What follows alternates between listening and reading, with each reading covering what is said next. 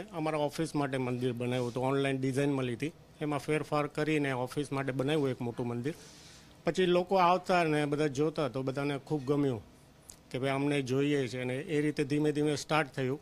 અને જ્યારે અત્યારે અયોધ્યામાં આવો સરસ પ્રોગ્રામ થવા જઈ રહ્યો છે, તો અમને વિચાર આવ્યો કે દરેક હિન્દુના ઘરમાં એક મંદિર હોવું જોઈએ એમ.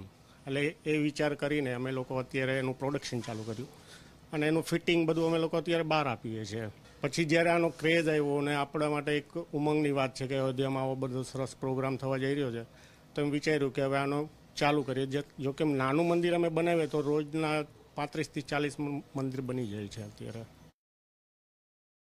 આગામી બાવીસ જાન્યુઆરીના અયોધ્યા ખાતે ભગવાન શ્રી રામ પોતાના નિજ મંદિરની અંદર પ્રવેશ છે તે કરવાના છે. ત્યારે રાજકોટના અનેક કારીગરો છે કે તેમના દ્વારા રામ મંદિર છે તે તૈયાર કરવામાં આવી રહ્યું છે. હાલ આપ દ્રશ્યોની અંદર જુઓ કે જે લોકો મંદિર બનાવે છે તે એક મગજની અંદર ભગવાનનું મંદિર તૈયાર કરતા હોય તે પ્રકારનો ભાવ રાખી અને તેઓ મંદિર જે બનાવવાની કામગીરી છે તે કરતા હોય છે. મારી સાથે મંદિર બનાવતા કારીગર છે, તેમની સાથે વાત કરીશું.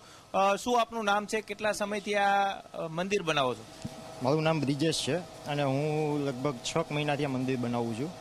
બરાબર? અત્યારે રામ મંદિરનું આપણે ફિટિંગ ને બધું પ્રોગ્રામિંગ ચાલુ કર્યું છે. અત્યારે રામ મંદિરનું ક્રેશ છે તો એનું ફિટિંગ ને બધું ચાલે છે અત્યારે. વર્કશોપમાં અમે એ આસ્થા લઈને આવીએ છીએ કે ભાઈ ભગવાન શ્રી રામની અમે મંદિર બનાવીએ છીએ.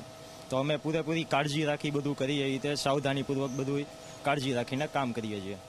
તેઓ એક મંદિર બનાવતા હોય તે પ્રકારની ભાવના સાથે તેઓ જ્યારે વર્કશોપની અંદર પ્રવેશ કરે છે, ત્યારે ચપ્પલ પણ પગમાં પહેરતા નથી ને આ જ પ્રકારે મંદિર બનાવવામાં તેઓ લીન છે તે થઈ જતા હોય છે. જે રીતના અત્યારે ઓર્ડર મળી રહ્યા છે ને તેને કારણે જ બાવીસ તારીખ સુધી મોટા પ્રમાણમાં તેમને ઓર્ડર મળ્યા છે અને રાજકોટની અંદર નાના સોયથી લઈ અને સ્પેસ સુધીના તમામ જે વસ્તુઓ બનતી હોય છે, ત્યારે રાજકોટના અયોધ્યા રામ મંદિરની પ્રતિકૃતિ છે તે પણ લોકો માટે એક આકર્ષણનું કેન્દ્ર છે તે બની છે.